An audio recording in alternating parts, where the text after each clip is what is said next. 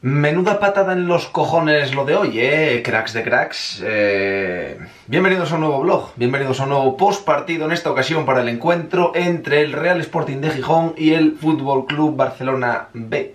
2-3 perdimos en el templo, 2-3 perdimos en casa contra un equipo que tenía pie y medio en segunda B. 2-3 perdimos contra un equipo que, si no me equivoco, creo que sumó 3 de los últimos 30 puntos con tres empates.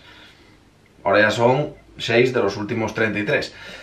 Y nos ganen en casa. Mm, un partido que yo creo que si nos puede salir algo peor, pues no sé, ya solo nos faltaba que se nos lesionara medio equipo, porque horrible. Pero bueno, aquí hay cosas que hay que hablar, hay cosas que hay que mirar, hay cosas que hay que analizar. Evidentemente vosotros en la caja de comentarios podéis opinar sobre lo que queráis. A lo mejor dices, Elopi, no tienes ni puta idea, no tienes nada de razón, no viste ningún partido del Sporting y no sabes de lo que estás hablando. O lo que sea, ¿vale? A lo mejor llegues aquí es del Barça B, o llegues aquí es del Osasuna, o del Numancia, o de cualquier otro equipo. Podéis opinar, ¿vale? Yo, siendo sincero, creo, creo que hoy tiramos el 90% de las opciones del ascenso directo, creo, ¿vale? A lo mejor ahora resulta que Huesca o Rayo pierden los últimos tres partidos, o los últimos cuatro, todos los que queden pierden, y nosotros ganamos los tres que queden y subimos, y listo, pero creo que ahora mismo el Huesca y el Rayo lo tienen en bandeja de plata, lo tienen ahí delante, en plan de, venga, cogélo y va primera. Y una pena porque seguíamos con la opción de, bueno, si ganes tú en casa, metes presión, tienes el primer partido, juegues antes que ellos y demás, pero nos salió el tiro por la culata, pero bien, bien, bien tirado, ¿no? No obstante, ¿vale? No y el pesimismo todo, o sea, ¿vale? Y un patadón en los huevos, tengo ahora mismo las bolas hinchadas porque salgo enfadado, salgo calentado, vi muchas cosas que no me molaron, y como yo supongo que estaréis todos, ¿no? Los que seáis del Sporting, por lo menos, los que seáis de, otros equipos que os interese que pierda el Sporting, pues estaréis dando palmáis con las orejas o lo que sea, ¿vale? Lo entiendo. Pero yo creo que tampoco hay que verlo todo, todo, todo tan oscuro. Mm, siempre hay algo de luz, ¿vale? Vosotros paraos a pensar un momento, cuando estábamos, pues, saliendo todos del Tartiere, en la puta B, ¿vale? En la puta B, tocadísimos. ¿Cuántos no hubiésemos firmado si os hubiesen dicho, a falta de tres partidos, firme estar tercero con opciones matemáticas de eh, ascenso directo y prácticamente con muy buenas opciones de asegurar el tercer puesto en la clasificación? Yo creo que hubiésemos firmado todos, pero ojos cerrados y si nos dicen tienes que cortarte un deu para eso, pues también te lo hubieses cortado, ¿no?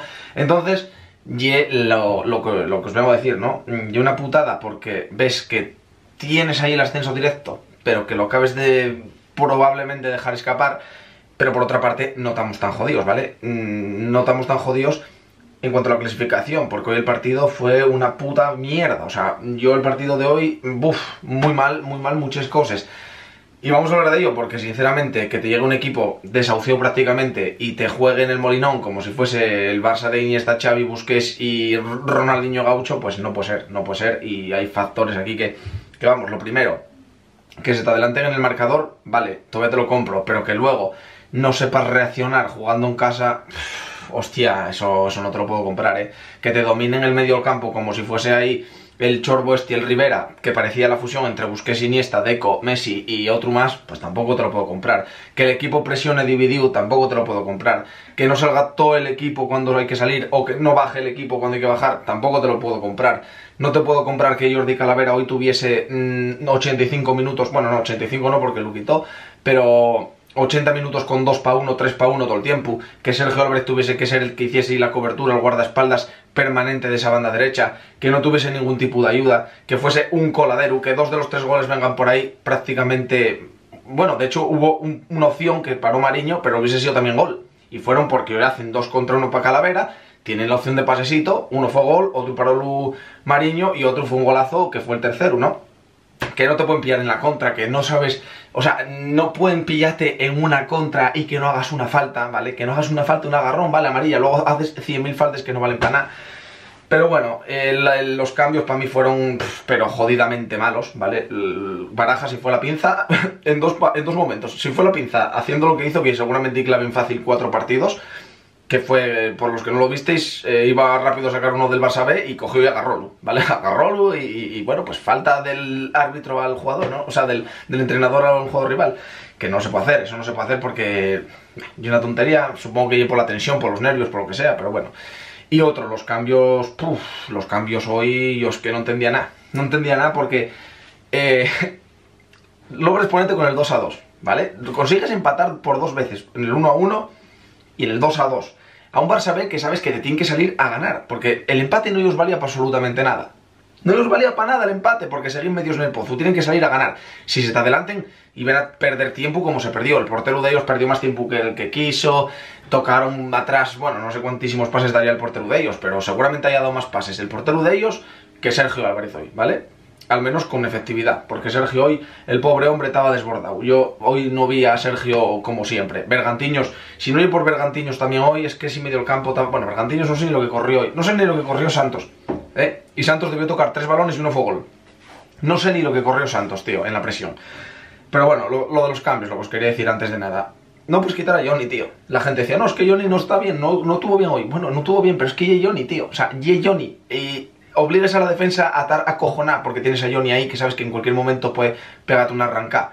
Quites a Johnny para encima para meter a Nano y pasar a Rubén a la izquierda, que lo que hiciste fue quitar a un puñal y al que estaba jugando de puta madre enganchando en la zona de tres cuartos, que era Rubén, que era el que estaba llevando el peligro, que marcó un golazo, que tuvo muchísimas jugadas acertadas hoy, jodeslo, porque lo tienes a banda y desapareció. Jodiste dos jugadores en un cambio, o sea, jodiste a Johnny por quitarlo y jodiste a Rubén por quitarlo de su sitio y por estropearlo.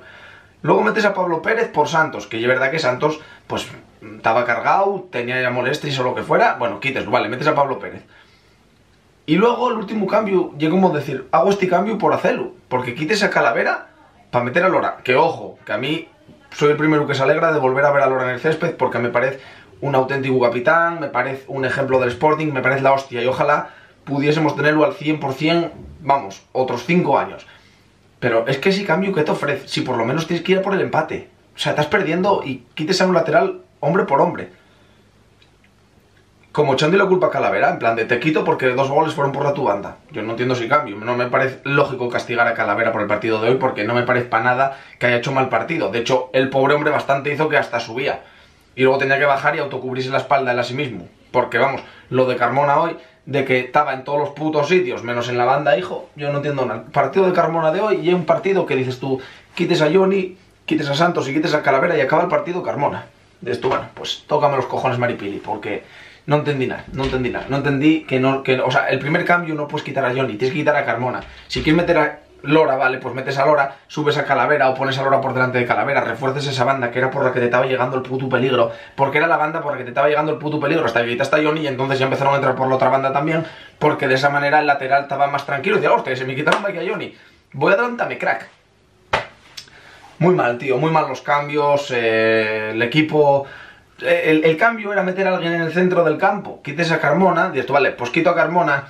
Vale, pues mm, si voy a quitar a Santos también, meto a alguien en el medio del campo, joder. Tienes a Alex en banquillo, pues metes a Alex y, tienes que ganar ese medio del campo al Barça B, que era donde tenían el peligro. El Barça B lo que hacía era tocar y esperar, tocar y esperar y ¡pum! tienes que hacer, si consigues, ya que consigues empatar dos veces, ya que consigues igual ahí el marcador dos veces, eh, joder, juega listo, sé listo, sé más listo que ellos. Pero bueno. Yo lo que hay, cuando un partido te sale mal, pues te sale mal. Yo al menos yo lo que vi, a lo mejor te estoy y tú qué dices, es normal. Si lo que tenéis que hacer era meter a Isma López, vale, pues vale, pues metíamos a Isma López, lo que vosotros digáis. Yo sabéis que os leo y que cada uno tiene su visión y cada uno podemos jugar a ser entrenadores de mil maneras. Pero la realidad y lo que todos estaremos de acuerdo, es que hoy no era un partido para perder. Y lo perdimos. Nos queda Tenerife, Granada y Córdoba. Tres partidinos. Mm, a ver qué pasa con el Huesca y el Rayo porque si Huesca y Rayo ganen mañana, pues que lo tienen ya súper chulo, ya que perdió el Numancia, porque ahora mismo si gana el Zaragoza, pensad que se nos ponga tres puntos con el gol haberás ganado. O sea, la tercera plaza del playoff, ojito, porque no la tenemos para nada asegurada. Hay que sumar, hay que seguir sumando, no nos vale con, va, bueno, pues vamos a dosificar ahora los jugadores, vamos a rotar porque tenemos que llegar frescos al playoff, no. O sea, el playoff si llegamos va a ser una puta locura, vamos a saberlo todos, vamos a morir muchos en, ello, pero, ojito, ¿eh? Y luego también otra cosa, o sea, el estadio hoy, cuando te marquen el, tercer gol, aquello parecía una, parecía una casa putas, aquello empezó a desmanarse gente por allí, marchando gente, no animaba ni Dios allí, yo vengo con la garganta rota, aquello era una, no sé, vi un ambiente muy de muy pipero, muy pipero, y muy pipero, muy de, va, vengo porque ya la parte final podemos subir, pero va, me cago en Dios, si estamos perdiendo contra el Barça, me piro, voy a ver el, a ver quién juega ahora por la tele o en el bar, ¿eh? Bastante piperil lo vi todo, y lo vi un poquitín de puro y pipes, pero ya lo que hay, tampoco podemos esperar mucho más, ya lo que hay. Los carros están ahí, ya lo que hay, no hay más. Eh, por otra parte, pues nada, no sé qué más deciros. Así que se me ocurre, es que traigo un bajón bastante importante, ¿eh? la verdad que fue una patada en los huevos. Yo, no sé, sinceramente, no entraba en mis planes perder hoy, no entraba en mis planes. Pero bueno, estoy como todo, a lo mejor ahora cogen, pierden los de arriba, ganes tú los tres que queden y tú te metes. Es que, ¿quién iba a decir que iba a ganar ayer el Lorca? Nadie. ¿Quién iba a decir que ganaba hoy el Barça B? Nadie. ¿Cuántos quinieles o apuestas joder en estos dos partidos? Muchísimas, pero ya lo que hay. Así que nada, ya sabéis, yo lo que os digo, focus, tíos. Perdimos hoy, estamos jodidísimos, no pasa nada. Salimos de fiesta, mmm, veis una peli, jugáis al Fortnite, os relajáis todos. Que todavía nos queden tres partidos de liga y a lo mejor un playoff.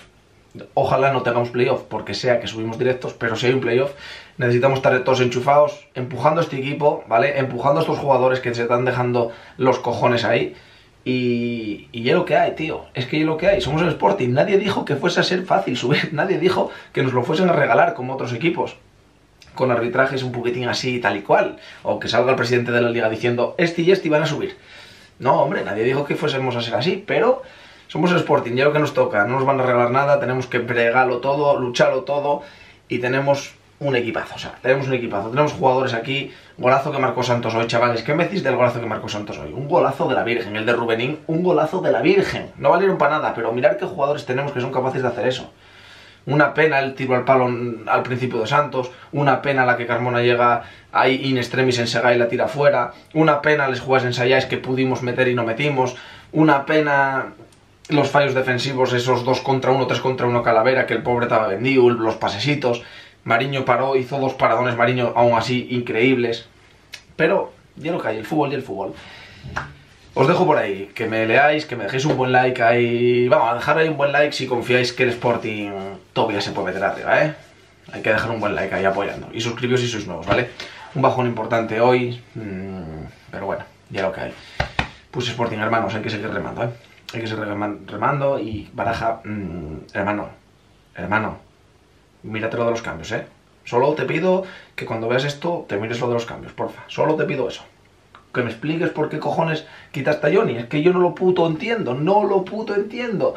Das y sales al rival. Dices, mira, quítate a uno de los mejores para que te lances al ataque con el empate a doses. Que necesites ir al ataque. Porque no te vale nada el empate. Es que no, lo puto entiendo. No lo puto entiendo. Y Carmona que andaba por campo, como se me ponen a mí, no lo entiendo, hermano. Y para encima jodes a Rubén tirándolo a la banda. No lo entiendo. Es que no lo entiendo, hermano. No lo entiendo. Por mucho que lo pienso, no lo entiendo. Si me lo pudiese explicar, igual y que tenía un esguince testicular, Johnny o algo, pero no lo entiendo. Chao.